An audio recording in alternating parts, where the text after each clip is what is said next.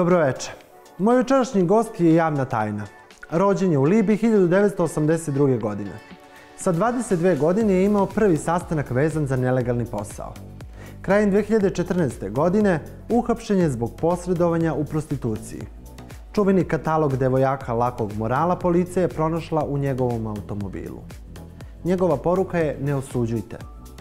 Njegova knjiga ne govori šta se dešavalo iza rešetaka, već mnoga lica Marije Magdalene govori o životu 12 devojaka koje su bile u njegovom lancu prostitucije. Da li se kaje šta su mu bile namere, da li ga je sramota, koliko je ponosna na sebe i da li je srećan čovjek. To su samo neka pitanja koje mu večeras postaviti. Večeras oči u oči sa njim i sa istinom. On je najpoznatiji balkanski poznavalac elitne prostitucije. On je Makro. On je Mihajlo Maksimović. Dobrodošli u Pretres. Dobro večer. Dobro večer, poštovanje. Dobro došao. Bolje vas našao. Ja pre svega moram da kažem da smo se e, ti i ja dogovorili da budemo na ti. Tako. Jel tako? Naravno, naravno. da. Mihajlo, kako si? Dobro sam Stefane, hvala na pitanju. Kako si ti? E, dobro sam. Dobro sam. E, dugo sam se pripremao za ovu emisiju sa tobom. E, nesvakidašnja tema, nesvakidašnja, nesvakidašnja, nesvakidašnji čovek. Ja tebe tako doživljavam. Nikad u životu ne bih rekao da si ti bio makro. Hvala ti na komplimentu.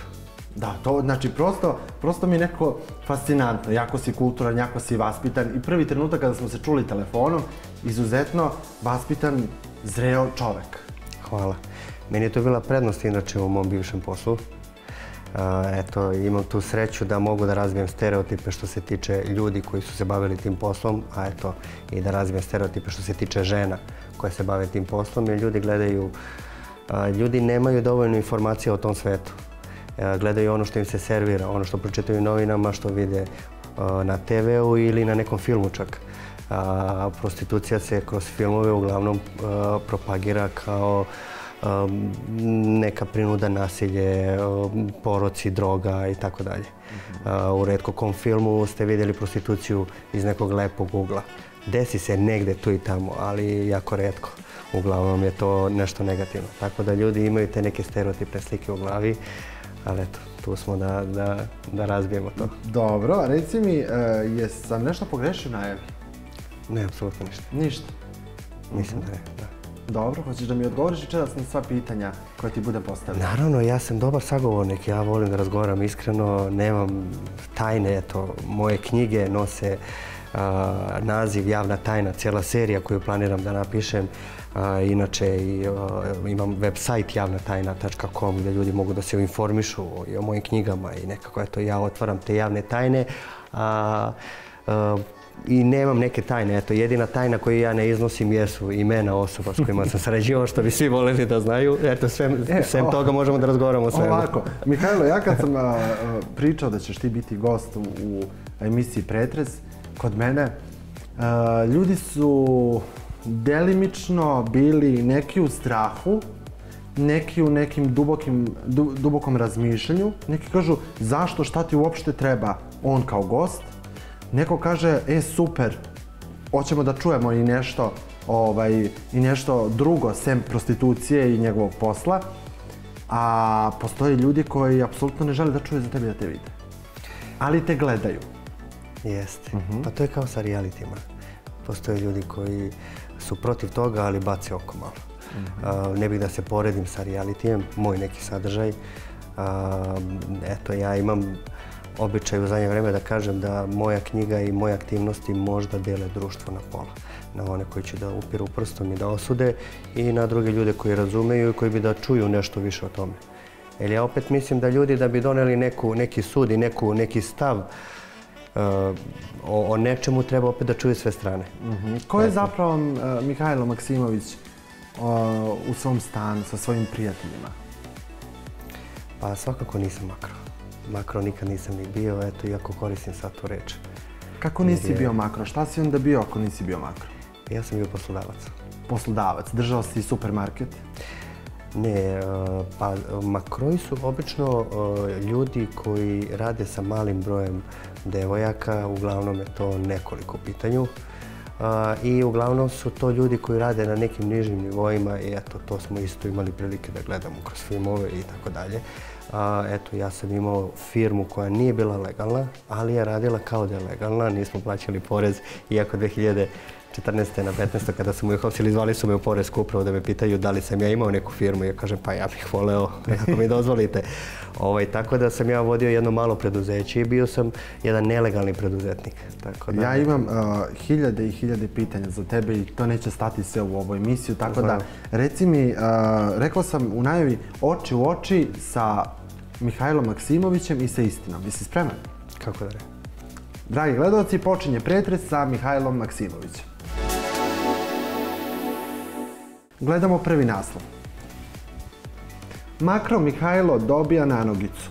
Ukinut pritvor muškarcu koji je vodio lanac elite prostitucije. Njegove devojke imale stroga pravila, on ugovarao sve. Izvoli. pa, prvo što je rečeno je činjenica... Dobio, ti si uhapšen 2014. godine. Tako, ja sam 2014. uhapšen u Beogradu, 2019.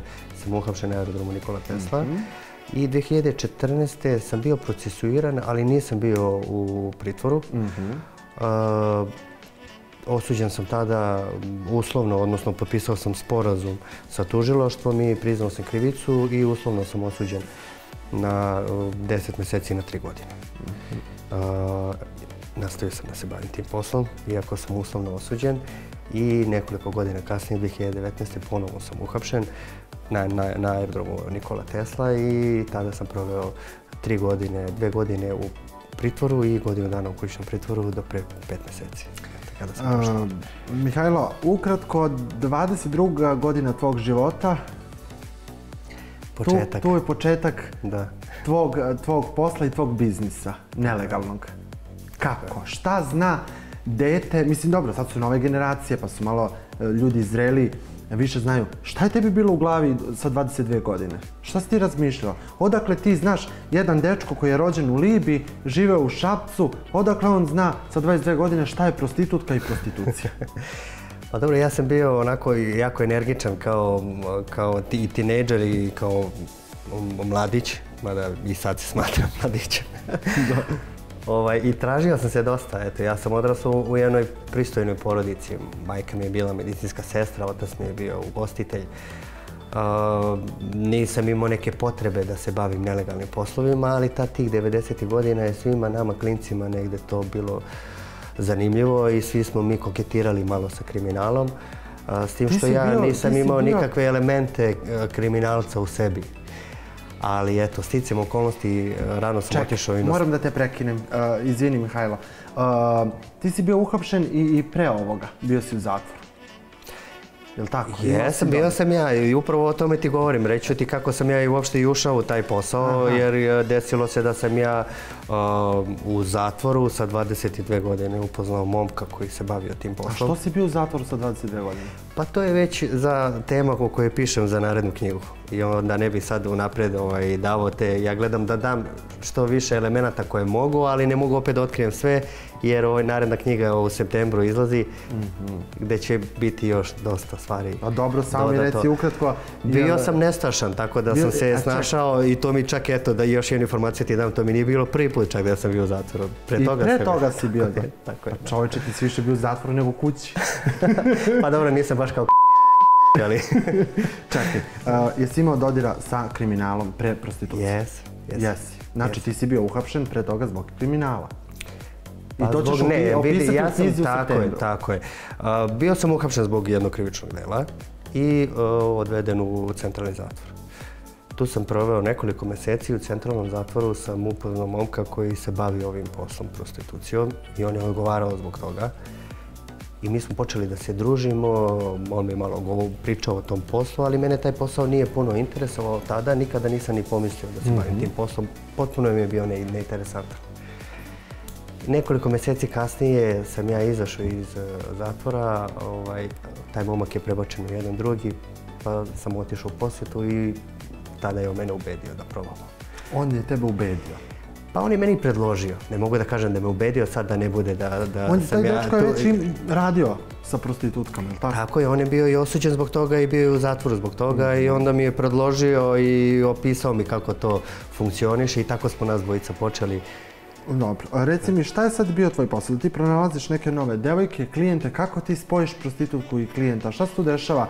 Mislim, znam da su ta pitanja neka koji ti svi postavljaju i da je to negde sad tebi kao monotono, ali ja moram da te pitam, iskreno, odakle hrabrosti tebi kao čoveku da e, prodaješ telo drugih devojaka?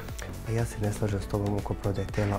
Uvijek to obratim pažnju mojim sagovornicima da se ne slažem sa tim terminom zato što one ne prodaju svoje telo nego prodaju uslugu. To je jako ružno. Ovaj, a, prosto onda možemo u bilo kojoj drugoj branši da kažemo eto za jednog futbolera da prodaje noge. To bi bilo jako sirovo, tako? Mislim, za futbol je potreban i mozak. Tako da, da. je i za ovu uslugu potreban mnogo više nego samo telo. Ali nekako eto ljudi imaju taj stereotip da eto, klijenti rade sa njihovim telima šta oni žele i tako dalje. Ja sam e, inače hrabar i probao sam mnoge druge stvari prije nego što sam ušao u to. Eto, ja sam teo kao mlad momak nešto više od života i na kraju me život doveo tu. Našao sam se u tom poslu i taj posao mi nekako legao. Zbog mnogo komponenata koje sam ja posjedovao kod sebe i taj neki moj odnos sa ženama i, posvećenost poslu bilo kom pre toga. Nekako žene su kod mene, u meni prepoznale neku sigurnost, imali smo jako dobar odnos i ja sam bukvalno za nekoliko mjeseci postao jako, jako uspješan u tom poslu i bio sam uspješan svih tih 15 godina koliko sam ga radio. A, što se tiče prošlog pitanja kako to izgleda, kako se njima nađe klijent, kakvi su to početci. Taj početak je bio drugačiji od elitne prostitucije jer je to bio salonski nivo gdje, je to bilo skriveno pod velom masaža i nekako tu su funkcionisali tadašnji neki oglasi, tada još internet nije bio toliko zastupljen i sve je funkcionisalo telefonskim putem, tu su se ljudi javljali, devojke su se same javljale za posao preko tih istih oglasa gdje su one znale šta je u pitanju i one su se dogovarale telefonski s klijentima oko usluge, viđale su se sa njima u tim nekim stanovima koje smo mi iznajmljivali i održavali i tako je to funkcionisalo u tom nekom periodu. Kasnije je to s godinama preraslo u u visoku prostituciju gdje je sve funkcionisalo na preporuku i sva poznanstva i gdje je to primilo neku drugu dimenziju, neki drugi oblik. U Beogradu kažu za tebe da si ti ozbiljna mašinerija za prostituciju. I da iza tebe stoji dosta ljudi koji, koje ne možemo da, koje ne možemo da uopšte imamo svest da se oni isto bave time. Ko su ti ljudi? naravno, eto, kao što kad mene pogledate na ulici, nikada ne biste rekli da se ja bavim tim poslom. Tako, Nikad u životu, ja bih pre rekao da ti da- predaješ istoriju. Hvala.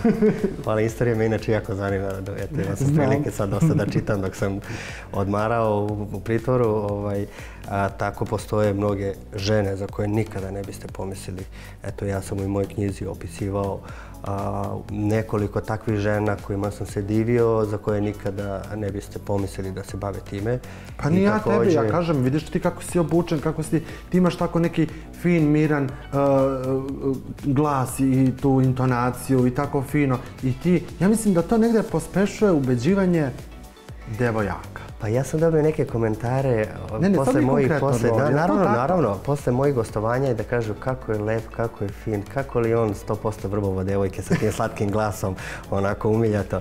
I meni je to jako zanimljivo, ja nisam vrbovo devojke. Tu čuči zec. Da, ja nisam Mhm. vrbovo devojke i ja, na primjer, nikad nisam bio pristalica da radim sa bilo kojom devojkom koja se pre toga nije bavila prostitucijom. Uvijek sam gledao da radim, da sarađujem s devojkama koje se već bave tim poslom. Znači, kod I tebe su dolazile one- spremne prostitutke. Pa devojke koje su već bile u tome i eto ja sam im dao mnogo bolje uslove od onoga što su one imale pre toga i ja sam se dobro osjećao sa time. A, na primjer, i nikada nijedna devojka koja nije znala da se ja bavim prostitucijom, koja nije iz tog sveta, nije mogla da čuje od mene da se ja bavim time. Prosto to nije bila moja tema. Tako da ja nikada, ni sada, posle toga ne preporučujem devojkama da se bave time, niti uh, sam pobornik bilo kakvog nagovaranja nekih osoba da se time bave. To svaka žena mora da izabere za sebe. Ti si bio veza između uh, klijenta i prostitutke. Tako je, Jel tako? posrednik. Sa kim ti je bilo lakše da radiš, prostitutke ili klijenti? Wow, to je sjajno pitanje. E, pa ljudi misle da je moj posao bio lak, ali u principu biti posrednik u bilo kom poslu je jako teško. Ja, na, Jer ja morate da, da, da, zadovoljite jednu i drugu stranu, da obratite pažnju na potrebe obe strane Dobro. i da rešite sve probleme iz, koje, koji Mhm, proizilaze iz, iz te saradnje. Tako da sam ja na dnevnom nivou rešavao probleme i opisivao sam dosta toga u knjizi i tek ću ih opisati. To je more i problema i raznih priča i situacija i dobrih i loših i avantura i problema. I eto, opisivao sam i oružani napad koji sam imao od strane klijenata u jednoj situaciji kada je ispao jedan problem na rezervaciji. Tako da, a, prosto ne mogu da kažem koja je strana bila teža, podjednako su bile teške, ali podjednako sam i uživao sa obe strane. Jer uvek treba gledati i eto, prostitucija, ja ne volim jer se u prostituciji uglavnom sagledavaju loše stvari. Mihajlo. Treba sagledati dobro i loše, tako da ja kada sagledam jednu i drugu stranu, ovaj, prosto sam uživao jer sam radio i sa kvalitetnim ljudima sa obe strane. Mihajlo, kako ti kao jedan čovek možeš da uživaš da prodaješ usluge neke devojke nekom čoveku? Je li to uživanje? Pa ja sam uživao iskreno u mom poslu i bilo je momenta i kad sam patio, bilo je momenta kada sam uživao. Devojke sa kojima sam ja radio su uživale u svom poslu i volele su svoj posao. Ok. A, Ja imam jednu rečenicu koju, koju su meni klijenti govorili, koji sam isto u knjizi naveo. A, Mihajlo, tvoje devojke su drugačije od drugih devojaka. One se nikad ne žale, one su srećne, zadovoljne su, a, a ne pričaju o svojim problemima. Imamo, Jer- imamo naslov i o tome, pričat ćemo i o tome. Ajmo na sljedeći naslov. Može? Kako da ne? Ajde, idemo na sljedeći naslov. Nisam ih primoravao, zarađivali su po 10.000 evra. Maksimović progovorio o poslu. Uh, ti nikog nisi primoravao da se bavi prostitucijom i nisi primoravao klijente da se da koriste te usluge. Jel tako? Niko nikog ne tera. Nikog, nikog ne tera. Njima se lova osladila, jel tako? Devojkama. Pa nekima da. A mislim kako, dobro, mislim svima vama. Svi ste radili Pa, za novac. jeste. Jel tako? Može se po 10.000 evra, kako? Mesečno, nedeljno? Čuo, gledao sam neke intervjue, nešto si mi pri, nešto si pričao nedeljno. Ne, onda ima neka e, devojka koja je, koliko je na dan imala devet klijenata. Jeste, to je izvučeno iz konteksta i stavljeno je kao veoma važan naslov koji se meni nije dopao jer je ispalo da se ja hvalim nečime što nije za pohvalu. Oni su me pitali koliko se desilo stvarno da devojak ima za jedan dan i to se desilo jednom jednoj osobi. Inače to nisu ti parametri, devojke imaju jednog, dva ili tri klijenata za jednu smenu. To je otprilike bilo nešto što Čekaj, je kod vas normalno. postoji smene. Naravno. Znači, Pa naravno, Mihajlo, ti si sistem. imao biznis, radno vreme, Naravno. sve si imao. Pa, e, Stefane, nisi pročitao moju knjigu, moraš da je pročitaš. Moram da A, U mojoj pročitam. knjizi je opis, opisan ceo sistem koji je mnogo bolji u mnogim ozbiljnim firmama. Jasno, A, i evo prosto ja mi smo čuo- funkcionisali kao jedan švajcarski mehanizam gdje se Tebi je tačno samo trebala znalo i uloge. registracija u APR-u i to je to. Pa jest. Jel? Pa jest. Jel bi ti volio da imaš registraciju? Pa sad više ne, tada bi, sada više ne, sada sam nekako prevozišao taj posao. Tako da, ali to treba da se legalizuje zbog drugih ljudi koji se bave tim poslom. Dobro. A, samo da ti odgovorim Aha, vezano slobodno, za zaradu, slobodno. nisam volio da pričam o zaradama, niti da pišem o tome, niti koliko je koštao sat. I dalje ne želim da govorim o tome. Zarada koju si spomenuo se dešavala devojkama s kojima sam ja sarađivao, ali prosto ne želim da se niko ugleda na tu zaradu i opet kažem, a, neskromno da devojke su u mojoj firmi zarađivale taj novac, inače taj novac nije mogao se zaradi u Srbiji ni na jednom drugom mestu i danas ne može da se zaradi. Eto, mi smo sticam okolnosti imali takav mehanizam da je to moglo, ali to nije nikakav parametar, to je mnogo, mnogo drugačije u, u realnosti. A, Mihajlo, našao sam informaciju da sat kod tvojih devojaka je išao između 150 do 500 eura. Ja neću to ni potvrditi ni demantovati, pošto kažem da nisam govorio o, o cenama. N- To mi je već neukusno da govorim o cenama. Moje je da pitam. Pa dobro. Jel tako? Se Ono, slažeš okej. sa tim? Može, sve može da pitaš. Dobro. E, št- znaš šta, ja mislim da si ti verovatno, pošto se tu radi o velikim svotama novca, da si ti tu zaradio mnogo novca. Jes. Jer jes. Gde je taj novac? Jel to čuvaš u nekom sefu, u nekoj banci? Jesi, Pa jesi evo, to je sjajna, sjajna, sjajno pitanje, o tome pišem sad u mojoj knjizi. Ne mogu ti odgovoriti sada, ali to je jako, jako interesantno. Eto, ljudi misle da sam ja milioner, ali mogu reći samo da to nije, ta, Se bavi da to nekad nije tako. humanitarnim radom? Pa e, jesam u nekim minimalnim dozama, ali u posljednje vreme e, sam orijentisan ka humanitarnom radu i planiram da otvorim nevladinu organizaciju, jednu koja će se baviti e, pomoći osuđenicima tokom izdržavanja kazni i pomoći devojkama koje se bave tim poslom, koje imaju probleme, koje su žrtve ili nasilja ili bilo čega drugog. Sigurnim kućama nekim mislim. Pa eto, ovaj, ja sam uvijek štitio devojke s kojima sam radio, nikad nisam dozvoljavao bilo kakav vid nasilja na njima. A, I protivnik sam bilo kakvog nasilja nad ženama i eto, voleo bi da eto, kroz moj neki dalje rad mogu da pomognem malom tim ženama. Voleo bi da, da im pomognem i kroz ove aktivnosti, i kroz moje govore i knjige, jer a, tim ženama stvarno treba pomoć. A, to što ljudi okreću glavu a, i eto, i gledaju taj posao kroz stereotipe i gledaju te žene kao neke jadne žene kojih ima minimalno, to je jedan stav koji može bude mnogo bolji. Jasno, dobro. E, možemo dalje. Kako da ne? Idemo na sljedeći naslov. Iza šabačkog makroa krije se madam, njegova bivša. Radi kao sekretarica, dobila je stan na Vračaru. Tvoja bivša devojka koja je radila kao sekretarica u tom tvom biznisu i ti si joj za uzvrat pored novca poklonio stan. Pa tu ima mnogo e, tih informacija. Mene su već i pitali da li neka bosanka, bosanska starleta e, uzela moj telefon i klijente, u smislu radila je sa mnom pa je preuzela delove posla. I tako, bilo je tu dosta tih nekih pitanja, ali to su špekulacije. E, ja sam svoj posao vodio sam i isključivo sam sam komunicirao sa klijentima. Sam sam se i nalazio s njima i dogovarao, tako Gde da se nađeš ti sa klijentom? Pa to je jako interesantno. Mi smo se nalazili u svim uh, ugostiteljskim objektima u Beogradu i po hotelima. Uh, prosto ja zbog mog izgleda nikad nisam bio padljiv i uh, ja sam s mojim klijentima sedeo u svim poznatim restoranima, e, manje poznatim restoranima, hotelima. A, Imam jednu anegdotu od jednog prijatelja koji je isto ugostitelj i kada mi je preporučivao svojim drugovima, on kaže Mihajla možete da pozovete, e, on će doći sa laptopom, vi možete da otvorite njegov laptop i da pogledate projekat, tvoja žena može da sedi preko puta i neće nikad pomisliti. Ni- nikad neće shvatiti šta gledate, tako jasno. da... Pa dobro, zašto ti si ovaj ozbiljan makro? Bio. Jel radila ta tvoja bivša devojka za, za ovaj, kao tvoja sekretarica ili nije? Ne, Jesi nije, nije, ja sam, se, ja sam se zabavljao sa jednom devojkom koja se bavila tim poslom Imamo i to, pričat ćemo i o tome. i opisao sam je u knjizi. Tako da čitaoci mogu da, da dobiju jedan deo naše ljubavne veze kroz prvu knjigu.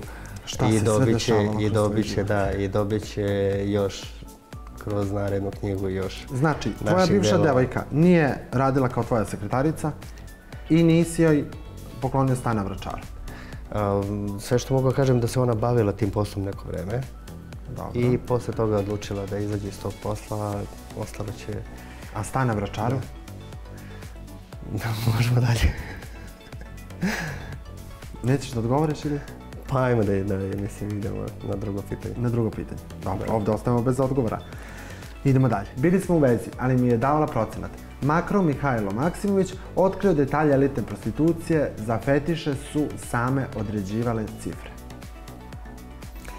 Ovo je jako interesantan naslov koji mi se opet nije, dopao. Jer A novinari... tebi se ništa ne dopada. Pa da, zato što se izvuče iz konteksta nešto i onda ovaj... Šta ovdje nije tačno, Mihajlo? Šta je ovdje? Šta je ovdje? Ajde mi reci. Bili smo u Pa, vezi, bio da, si u vezi sa ali nekako eto to kad se formuliše, bio sam makro, ali mi je davala procenat ovaj, onda ljudi kad to прочитају као наслов, онда тоа створи една слику која не е у принципу баш таа. А затоа постои моја емисија, ја ти така поставам тоа питање, да ти мене можеш па, да, да, да, питање да- е било тада, пошто е девојка со која сам се ја виѓао, ми смо се упознали кроз посао. Ти си И... се забавljao со проститутко. Тако е. Јел тако? Колико сте били у? Па тоа ќе писати, били смо долго. Ne bih sad rekao tačan podatak. Jesi ti voleo tu ženu? Kako da ne? Ja, Voleo ja, si je. Da, ja mislim tu ženu obožavam i dan danas. To I je dan jedno, danas. jedno divno biće i ona je u stvari i najvažniji a, lik u celoj knjizi. A, po njoj je knjiga i dobila ime. Je li ona javna ličnost isto? Ne, ona nije javna ličnost.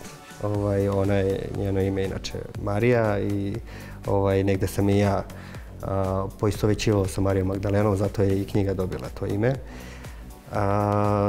Mi smo se upoznali uh, tako što se ona bavila tim poslom i mi smo počeli da sarađujemo i kroz saradnju je nekako isplivala ta ljubav.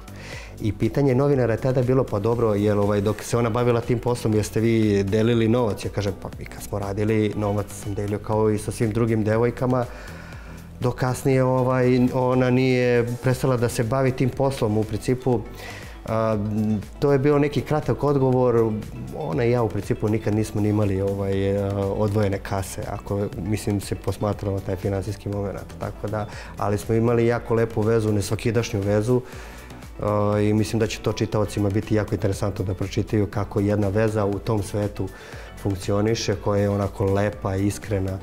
Prosto ljudi mi zamišljaju to mnogo drugačije, a eto i u tom svetu može da se... Jasno. Gle ovo, tebi dođe svoja, tvoja devojka kući. I što ti kažeš? Zdravo, i kažeš njeno ime u knjizi je Marija. Zdravo Marija, kako je bilo na poslu? Samim tim svestan si da je ona spavala sa drugim čove- čovekom. Tako je, I dođe onda u tvoj krevet i ti imaš seksualni odnos sa njom. Sa puno ljubavi. tako je, I sa žarom. tako je. I sa ovim fetišima. Na koje fetiše misliš? Pa ne znam. Ja nisam spominjao fetiše. Aha, dobro, jasno.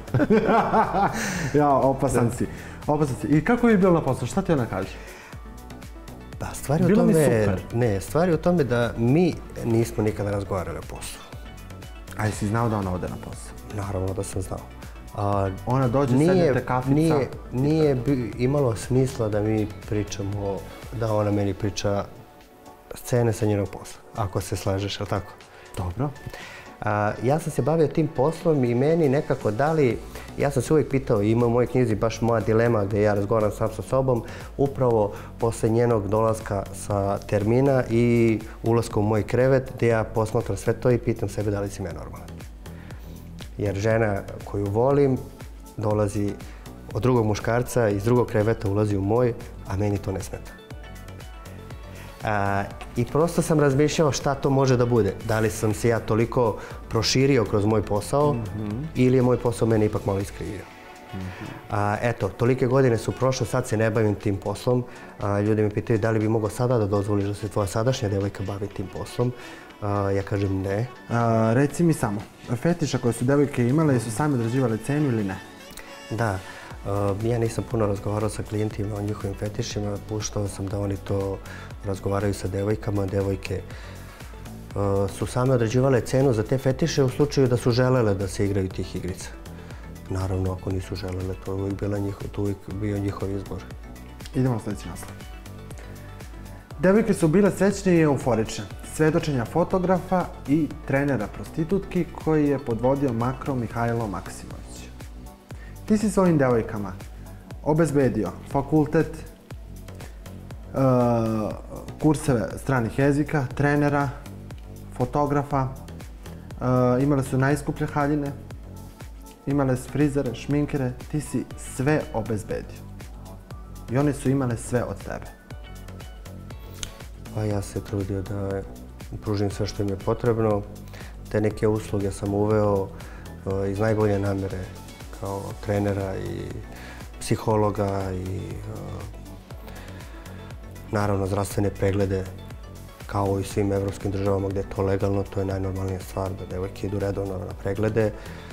Uh, eto, imali smo jedan jako lep sistem i momke koji su ih vozili na, sve te aktivnosti.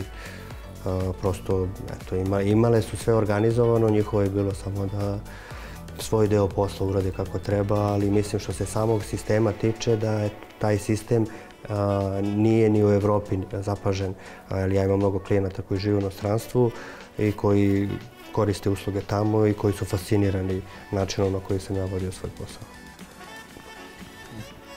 Ti da si poslodavac neke velike kompanije, Pa evo, ja moram da se pohvalim. Moja kompanija, eto, prva legal, legalna kompanija da, koju sam otvorio je kompanija Votum, koja je inače izdavač moje knjige. I to je moja kompanija ko- koju razvijam i koja će imati mnoge lepe delatnosti u budućnosti, tako da mislim da ću sva svoja znanja i iskustva moći da primenim u svom novom legalnom poslu. Jesi video sreću kod tih devojaka koji su se bavile prostitucijom? Jesu one, one stvarno bile srećne? U nekim momentima da, u nekim momentima jako nesrećne. Kada su nesrećne bile? Nesreće su bile u momentima kada su patile zbog problema koje je nosio taj posao, kada su ih ostavljali momci, kada bi saznali čime se bave, kada ih nisu poštovali momci jer su ih podcjenjivali zato što se bave tim poslom, jer eto, tamna strana tog posla kod devojaka je jer ih momci ne smatraju ozbiljno i ne, ne zabavljaju se sa njima na ozbiljan način. Uglavnom hoće avanturu s njima.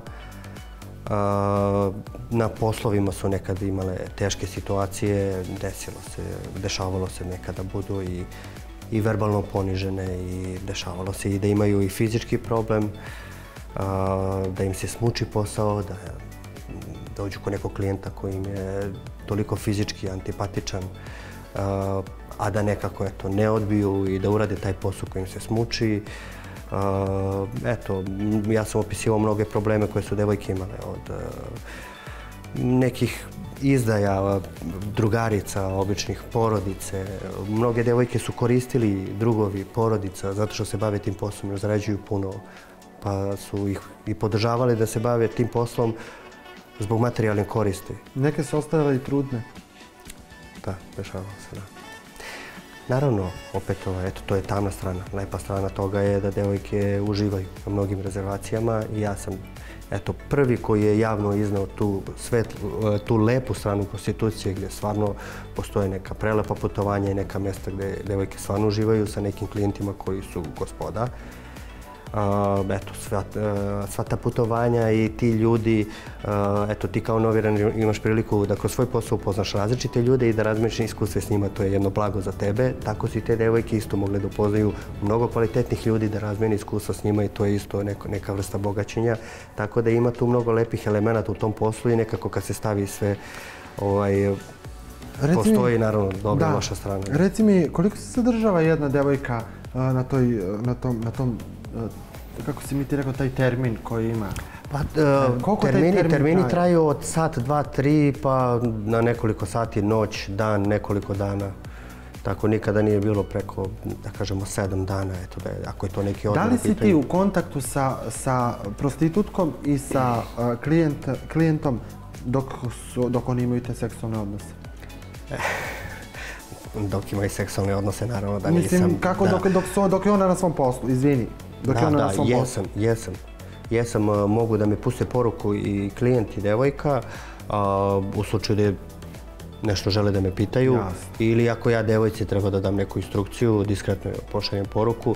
A, mi smo je bili to? Šta je to profesionalci. diskretno što ti njoj javiš? Pa evo recimo da ovaj, ako su na nekoj večeri, ako dešavalo se recimo kao u priči o Vesni koju sam ja imenovao kao divljakuša jednostavno bila je jedna dobra osoba, ali divlja koja je stalno pravila probleme i recimo ja sam njoj često morao na poslu da šaljem poruku da ne pije puno ili da se ne svađa s klijentima ili da ne radi neke stvari. Eto, ili eventualno da, da im dam neke smernice ako je tu više ljudi, pa ako mi klijent kaže da bi trebalo eventualno ovaj, nešto da se predoči devojkama, ja im pustim poruku, ali e, nismo zvali jedne druge, druge jer je to neprofesionalno, mobilni telefon se nije koristio na poslu. Devojke bi s vremena na vreme diskretno pogledale telefon da vide da li sam nešto poslao ili bi otišli eventualno u toalet da me pozovu. Eto, to je bila ta jedna velika razlika između nas i drugih ljudi jer mi smo poštovali uh, to vreme klijenata i Jasno. neukusno je bilo da mi sad telefonski razgovaramo pred njim. Da. Da li si ti nekada pre, pre ulaska u ovaj posao platio nekoj ženi neke usluge? Yes. Kada? Pa meni se dešavalo i u mom poslu ovaj, da ne s nekim devojkama s kojima sam sarađivao, da sam imao seksualni odnos s njima pa da sam im platio usluge. A Ja desilo mi se da, desilo mi se da, eto, drago mi je što me to pitaš, ovaj, uh, Mi imamo, na primjer, neke devojke, jako malo, možda dve, koje sam ja registravao na, da su javno nešto rekli o tom poslu, da su se bavile time. Evo imamo mene kao čovjeka koji je bio organizator toga. Uh, jedna je Mina Vrbaški, a druga devojka, nju sam slušao Zaboravio sam njeno ime, slušao sam je dok se bio u pritvoru, ona je javno u emisiji govorila o tome kako se bavi, opisivala. Uh, ona je čak mnogo više rekla od same Mine. A, eto, imamo mene koji sam vodio taj posao, govorim o tome, ali nemamo još jednog klijenta koji će javno da kaže jeste, ja sam platio usluge zbog toga i toga, to mi se dopalo, to mi se nije dopalo. Tako da mi je drago, drago mi je... Poslodavac i klijent. Pa eto, dešavalo mi se da budem u ulozi klijenta, tako da eto, ja sam i želeo da, da ovaj, možda i da budem pitan tako nešto, tako da ti si prvi koji me pitao, tako da eto, imaš premijeru. Ekskluziva. Ekskluziva, da, ovo može da bude sad naslov za, za tvoju emisiju. Da li je to pluskom perfekt? Je li to neko davno prošlo vreme okay. ili Mihajlo i sad ovaj, može da uradi istu stvar? Ne, sad na primjer ne radim to i ne bih sad uradio to, zato što sam sad malo devojku? promenio, nemam devojku, sad sam malo promenio pristup i filozofiju što se tiče mojih ljubavnih i seksualnih aktivnosti. Sad si postao aseksualan? Nisam postao aseksualan, ali sam ovaj, uh, uh, ne znam kako da ti... Uh, uživam u samoći. Ajde da kažem da je to možda najbolji termin trenutno. Ovaj, ali ranije sam bio jako aktivan i uopšte ne želim to da krijem. Ovaj, ni od javnosti, ni od moje nove partnerke s kojom budem stupio u, vezu. Mislim da to što je neko promenio dosta partnerke može da bude i dobro. Mihajlo, sa koliko devojaka si bio? E, stvarno, stvarno ne mogu da izbrojim, ali je bilo jako puno. Koliko, otprilike? Pa ne mogu sad, mislim da je i neukusno reći broj. Pa zašto? Ti misli kao muškarac. zašto je neukusno? Mislim, e, priča, nije, nije neukusno pričati o poslu kojim, se, kojim si se bavio, ali ovaj, je neukusno to da mi kažeš da si bio sa 70 devojaka. Pa ne mogu, stvarno nisam nikada ovaj brojao. Ali otprilike? Pa ne bih se usudio da uopšte licitiram. Pa ne, stvarno se ne bih usudio da ovaj, uopšte kažem bilo kakav broj. Zaboraviš neku. Aj sad. Da. Dobro. Ali... Mihajlo, čekaj da te pitam nešto. Jesi imao neka te trojke, četvorke, te orgije i to? Jesi. Pa da eksperimentisao sam. Uh -huh. A te fetiš i to? Pa ja sam inače konzervativan, inače. Ovaj, ali sam negde kroz moj posao sam se proširio, tako da sam eksperimentisao. Ali i dalje sam na kraju ostao konzervativan. Probao sam dosta stvari i uživao sam u tim nekim seksualnim igrama. Ali eto, na kraju, na kraju uh, filozofija mi je da budem monogaman u vezi uh, i u braku i da ne varam ni svoju devojku ni suprugu. Uh, eto, ja sam pobornik toga da ljudi ako imaju neke probleme kasnije u vezi sa seksualnim doživljajima i sa tim nekim uživanjima, mislim da to može da se prebrodi ako su oboje spremni na saradnju, da ne moraju da se koriste usluge tih devojaka ili da se traži neka avantura sa strane. Eto, to je moja trenutna ideologija. evo sad te pitam jedno najnormalnije pitanje. Ovaj, je li te sramota? Jel se stidiš? Sramota čega? Da li, te je sramota onoga što si se bavio? Da li se, stidiš toga i kako ćeš sutra ti uh, uh, svojoj deci i porodici da kako ćeš, kako ćeš deci sutra svojoj da, objasniš tata vam je bio makro, podvodio je devojke? Uh, Možda postoji nešto u životu... Primjer, sutra, nemoj sad da me shvatiš pogrešno. Ne, ne, ne, sjajno ti pitanje, pitanje je predivno, evo, Znaš, dozvoli da ti odgovorim. Na primjer, sutra ćeš imati da. čerku. I onda će... Ne, ne neko... moraš da, da se nadovezuješ, potpuno sam razumio srž pitanja, pa tako da ću ti ja odgovoriti. Ja sam rekao, da, da. istina večera sa tobom. Ti sutra imaš ne. čerku. I onda kaže, tvoj tata je bio makro. Kako ćeš ti da objasniš to? Sjajno, odlično pitanje. Šta ti kažeš, Pre, jeste, pitanje. Hvala ti što si me to pitao. A, Možda postoji nešto čega se stidim u životu, što bi volio da promenim, ali to svakako nije posao koji sam radio. A šta je to, Mihajlo? To su već neke druge intime. Dobro, Mihajlo, moraš da mi nešto kažeš. Jeste, ja sam ali jako prosto ja, ja razumem da bi ti kao novinar voleo da dobiješ što više ekskluzivnih informacija u tvojoj emisiji. Kako god, ja vodim jedan razgovor ovaj, sa tobom opet moraš, da, moraš i ti znati da postoje neke stvari koje čovjek želi u nekom momentu da podeli. Uh, Ja verujem da ću ja sve elemente mog života podeliti sa mojom publikom kroz vreme. Samo prosto neke stvari treba da se doziraju. Okej, pošteno. A što se tiče, moram da ti odgovorim na ovo Na- jako to, lepo, to važno samo pitanje. hoću da da. kažem, ne kažeš se zbog posla koje, koji si radio, nego se kažeš zbog nekih drugih stvari što ne želiš sada da otkriješ. Ne, pitao si me da li se nečega stidim. I da li se Da, stidiš? Da. A, kažem, postoje, verovatno, postoje neke, neke stvari koje bi volio da sam uradio drugačije u životu, Dobro. ali što se tiče mog posla, ne stidim se svog posla, Dobro. ni malo, čak sam i ponosan na njega. Ja nosim svoj krst sam. Ja sam optužen za jedno... za taj jedno krst? Ne, ja moj krst nosim s ljubavlju i s osmehom. Ja sam optužen za jedno teško krivično delo. Znači čovjek koji je imao najbolji sistem na Balkanu, koji je bio bolji od mnogih u Europi, je optužen za krivično delo trgovine ljudima. Ne želim da komentarišem, postavit ću sudu, da sud donese odluku. Proveo sam tri godine u zatvoru zbog tog krivičnog dela. Tri godine je za takvo krivično delo jako puno. Ljudi ne provode ni godinu dana zbog toga. Ja sam svoj dug državi i društvu platio. I prosto mislim da, da mene ljudi treba bar da pozdrave zbog načina na koji sam vodio svoj posao i zbog svega što radim sada, jer prosto ja u ovome, a, u mojoj knjizi, u mojim nastupima, nemam neki veliki finansijski interes. Mihajlo, to morate ti razumeti. si- Znači, ono što ja radim je moj doprinos. Ti si u zatvoru uživao. Tako je. To je, to je jako bitno isto da mi kažeš. Tako je. Ti si uživao u zatvoru i počeo si da pišeš knjigu i o, o tome ćemo. Molim te, samo mi reci, sutra dobijaš dete, čerku, kako ćeš joj reći, nisi mi odgovorio na to. Odgovorit ću ti samo pre toga ću ti reći da devojka s kojom sam se ja zabavljao nikad nije krila čime se bavi. Moji roditelji, porodica, prijatelji, svi su znali čime se ona bavi. A, svi znaju čime se ja bavim. Znači, a, prosto ja ću moje dete da podignem. Ja ću, za ja ću, nastup. ja ću moje dete da podignem u mom duhu, u duhu nekih a, vrednosti ko su ljudi, a ne čime se bave. Mihajlo, nisi mi konkretan, Prosto ne vidim, ne vidim, uh, uh, ne vidim ni jedan element zašto bi moje dete trebalo mene da se stidi, jer ja znam kakva sam ja osoba i šta su moji lični A šta parametri ćeš za reći kvalitet. ti tvom detetu sutra? Ovo što je radio tata je lepo i nije lepo. Hoćeš objasniti, kako ćeš reći detetu? To me zanima jako Pa kratko, vidi, a, ne možemo mi definisati ni šta je lepo, ni šta nije lepo, ni šta je dobro, ni šta nije dobro. Znači, Jer ja, prostitucija eto, za tebe lepa. može da bude lepo. Može da bude lepa. Tako je. Kao i život.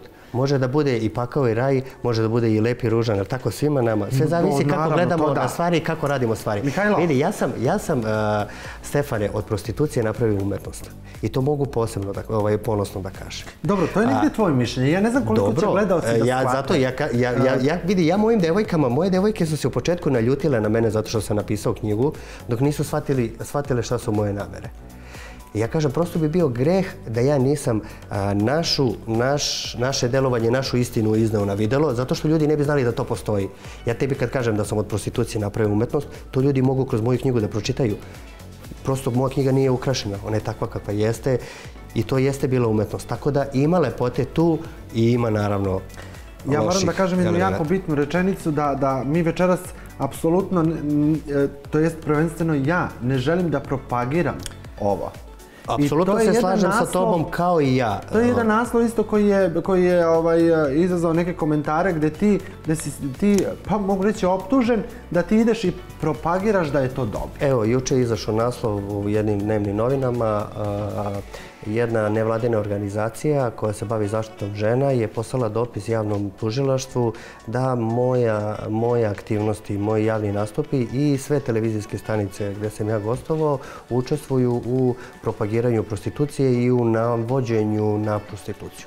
Što je potpuno pogrešno. Ja razumem brigu tih ljudi i razumem da eto i ti ljudi i dalje imaju dozu stereotipa, oni verovatno nisu upoznati sa mojim radom jer da su saslušali sve moje javne nastupe, ja sam uvijek osudio bilo kakav, na, bilo kakav vid nasilja na ženama, ja sam za to da se te žene zaštite i zbog toga želim da se prostitucija legalizuje da bi se tim ženama pomoglo. Prosto i moja knjiga uopšte nije afirmativna, Ja iznosim sve te neke loše elemente prostitucije jer jednostavno ljudi i, žene koje možda i razmišljaju da se bave time treba stvarno da znaju šta ih čeka kroz to, a može da ih čeka pakao. I nikom je ne preporučujem ali opet ja, e, moja obaveza je da ja kažem kako to izgleda, jer prosto ljudi ne mogu da donose sud na osnovu stereotipa ili čak u slučaju tih eksperata u odnosu na neke izveštaje koje su oni pročitali ili na odnosu na nekoliko žrtava trgovine ljudima koje, e, koje postoji i tih žrtava ima, ali prosto ne mogu kroz te žrtve da sagledaju cijelu prostituciju kao takvu. I zato je važno da eto ja iznesem neke činjenice da ljudi mogu da sagledaju, ok, postoji nasilje, postoje žrtve, ali postoji jedan regularan i normalan posao. Kod tebe nije bilo trgovine ljudi? U visokoj prostituciji ne postoji trgovina ljudima i ne postoji nasilje. Desi se svađa između devojke klijenata i neka svađa, ali tu prosto nema fizičkog nasilja i tu nema ni mnogo makroa. Preko 50% osoba u visokoj prostituciji se bave samostalno tim poslom. E, nedavno mi je gostovala Dušica Grabović, e, ovaj, u, mojoj emisiji sedala je baš tu preko puta mene. E, vaše poznanstvo, ili poznaješ Dušicu? Ne. Ne poznajete se? Mhm. Skoro isto pričate. I Dušica je imala neku, neku svoju priču i baš identično negdje imate neke, neke iste odgovore. negdje sam pročitao da, da, da je Dušica bila i u tvom katalogu. Pa da. Kako može da bude kod tebe u katalogu devojka se za mnogo, za mnogo devojaka da su u mom katalogu. Ja nikad nisam ni demantovao ni potvrdio ni za jedno od njih. A evo ja večeras tebe sad pitam lepo. Da li je pa Dušica Grabović bila kod tebe u katalogu ili nije? Ja nikada neću ni potvrditi ni demantovati ni za jednu devojku. Jer ako budem demantovao za neke, prosto ne mogu onda da ne demantujem za sve, ali neću, ne želim da, se uvlačim... da je dobro to što ti nisi iskren kad ti se postavi ovako pitanje? Pa ja volim da pustim ljudima na maštu. Eto, ja demantovao, ne demantovao, ljudi će dalje imati svoje mišljenje. Tako neka puste, neka se vode ili svojom maštom ili realnošću. Ja opet kažem, ljudi kad posmatraju nekoga kad govori, mogu da vide da li on govori isto ili ne, da li se neko bavi tim ili ne. Također kad čitaju knjige, pogotovo moju, mogu da osjete šta je istina, šta nije, šta je realno ili nije. Eto, ja kad čitam neke knjige i neke ispovesti, prosto negdje istina se osjeti, a svi imamo neko, neki osjećaj za realnost, tako da je to ne bi ni demantovo. Pratio sam šta se dešava oko Dušice i neka gostovanja koja ona imala u posljednje vrijeme da demantuje natpise. ako želiš moj komentar na tu temu, mogu da ti dam. šta ti misliš? Tu možeš samo, samo kratko, molim te idemo dalje. Mm, Šta pa, misliš, da li se da, ja bavila prostitucijom ili nije? Pa ja ne znam da li se bavila time, tako da... A tvoje mišljenje? Pa, nemam mišljenje. I ne poznaš je? Ne poznajem. Idemo na sljedeći naslov. Makro Mihajlo Maksimović vodio dva života. Njegova majka okreće glavu od sramote, dok komšije u šoku pričaju sve najbolje o njemu. Pa da, ovo je neki čudan naslov, jer ovo je e, amatersko novinarstvo. E, moja majka je ponosna na mene, oni znaju čime se ja bavim i prosto moja, imam svu podršku moje porodice. Mihajlo, ti imaš e, rođenog brata? Ne, imam rođenog brata, imam rođenu sestru. Rođenu sestru, izvijem. Ali imam jednog rođaka koga zovem bratom, ovaj, sarađivali smo. Koji je također makro?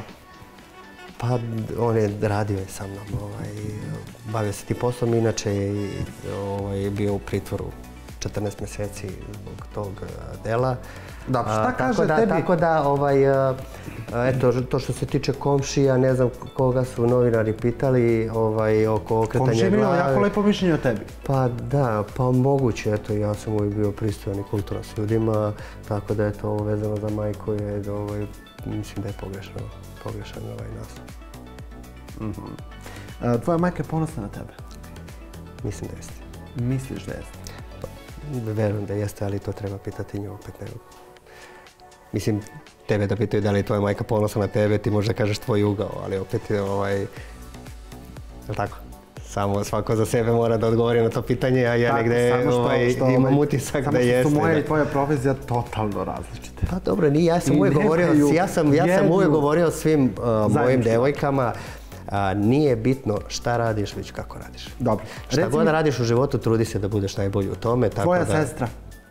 Dobro. Kako reaguje tvoja rođena sestra? Pa moja sestra je znala da se ja bavim tim poslom. Uh, eto, ispratila I pre nego što si uhapšen. Naravno, naravno.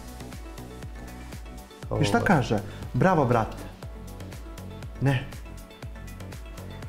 Pa Izvini, ja mogu da kažem molim te, da, želim da, da, mi, da, mi kažeš to iz duše. Ja sam negdje Pa jeste, ali vaspitan, da. pa ne mogu baš sve da skontam. Mene zanima kako tvoja rođena sestra koja te voli, ista majka vas je rodila, kako gleda na svog rođenog brata Makroa. Šta kaže?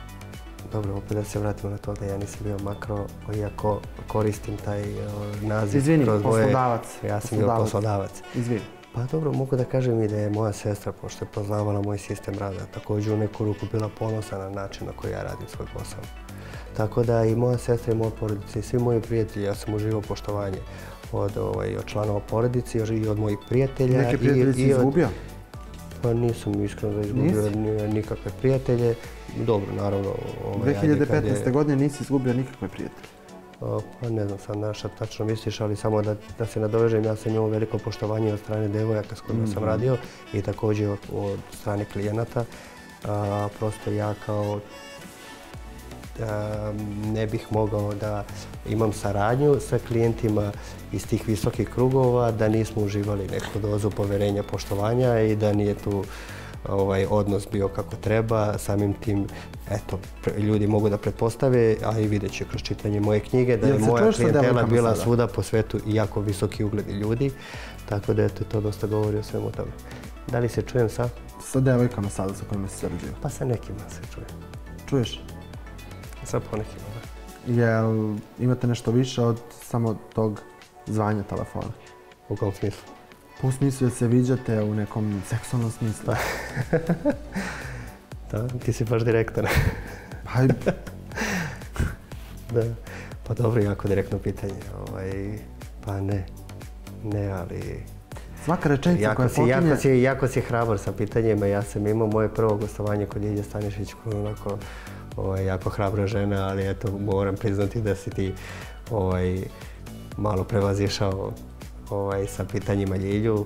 Ovaj, tako da, eto, uh, ne zameram ti na slobodi, ovaj, ali ne, sa devojkama se, Mihajlo, sa devojkama želim da se, ti se zahvalim. Prvenstveno za mene je, ovaj, hvala ti veliko, za mene je uh, zaista kompliment da sam prevazišao Ljilju Stanišić, iako ja mislim da nisam. A, rekao sam sa pitanjima. Sa pitanjima. A sad I u sa tvojoj, pitanjima u tvojoj, isto. u tvojoj profesiji E, to je sad I već sa drugo, pitanjima da. isto da, ti kažem, ovaj, Ljilja, neko ko je tebe razotkrio. Pa nije me Ljilja razotkrila, iako ona voli tako da kaže, ali Ljilja je ovaj, dosta pisala u mom slučaju. Mislim, mene je uhapsila policija, mene je razotkrila policija, ali je Ljilja dosta pisala u tom slučaju i negdje ja volim da se šalim sa Ljiljom ovaj, da eto, ko je tu kome pomogao u popularnosti, da, da li ona meni ili ja njoj, ali ovaj, mogu reći da je, da je Ljilja dosta doprinila razvoju mog posla, jer poslije tih tekst, tekstova 2015. su ljudi počeli da me traže mnogo više nego pre. Ja želim da pozdravim ovom prilikom moju koleginicu Ljilju Stanišić, uh, predivan novinar. Jako kvalitetan novinar. Se slažeš sa mnom? A, Pa dobro, Ljilja i ja smo sada prijatelji, ovaj, tako da ovaj, zakopali smo ratne sekire. Dobro. Mihajlo, ovaj, veliki li- pozdrav za Ljilju. Reci mi jednu stvar. Od čega ćeš ti da živiš sada kada više nećeš da se baviš kao makro? Eto, ja sam otvorio svoju novu kompaniju, trenutno pišem, autor sam jedne knjige, planiram da napišem još dosta knjiga. I tu ću te stopiram i idemo na sljedeći naslov. Knjiga najpoznatijeg balkanskog makrova Mihajla Maksimovića. Mnoga lica Marije Magdalene. Zato sam te stopirao. Dobro, Da se nadovežemo. da. Mihajlo, znači, to je moja... tvoja prva knjiga Mihajlo Maksimović, Mnoga lica Marije Magdalene. Elitna prostitucija iz prve ruke, najpoznatiji balkanski makro. Prvo pitanje me zanima. Evo, Mihajlo Maksimović kaže Mnoga lica Marije Magdalene. E, prvo pitanje, Mihajlo, sve ove gole žene ovde, jel poznaješ neku od ovih? Pa naravno, mislim, to je realna fotografija, nije fotomontaža. Dobro. Jesu ove devojke radile za tebe? A, ne, te devojke su modeli. Modeli. I nijedna nije u, u prostituciji. Da, to ljudi su možda mogli da maštaju da li je neka od tih devojaka u katalogu, ovaj, ali reći Ne, to me ne zanima. Zanima me da li je se neka od ovih bavila prostitucijom. Ne, ne, to, te devojke su modeli. A, inače, to, to je slika e, tajne večere, a, gdje je 12 devojaka i ja. A, Zašto Marija Magdalena? slika. Pa eto, ovaj, a, pošto se knjiga zove Mnoga lice Marije Magdalene, eto, ja sam ovaj, izabrao taj simbol tajne večere da stavim kao naslovnu stranu.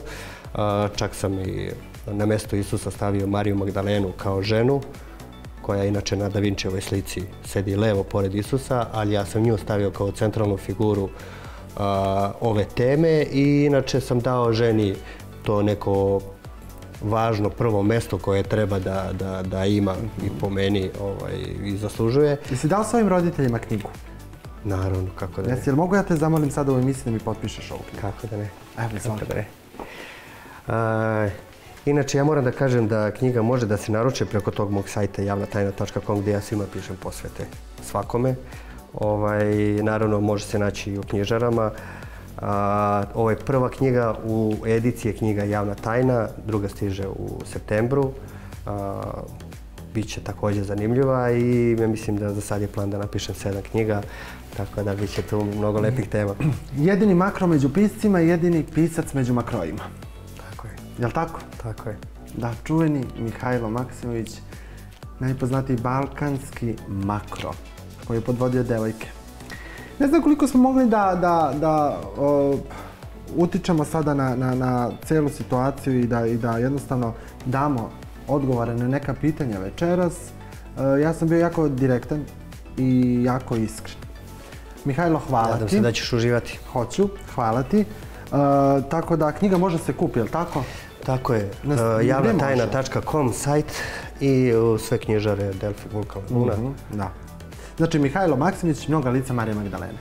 Ovdje si izmislio sve, sva imena likova, ali su sva dešavanja... Tako je, imena su izmišljena, sva imena su izmišljena i svi likovi i događaji su stvarni. Mhm.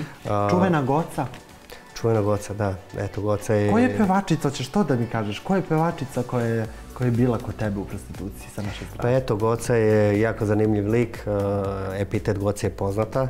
Inače, eto, ja sam izabrao 12 različitih epiteta da opišem te razlike između svih tih devojaka. Uh, eto, ljudi mogu da razaznaju otprilike koja je Goca bila kroz moju priču. Ja nikad, uh, Nikad nisi rekao? Nisam rekao ko je ona. Mihajlo, mediji će i dalje da komentarišu tebe, da pričaju, da pišu, da prate svaki tvoj trenutak.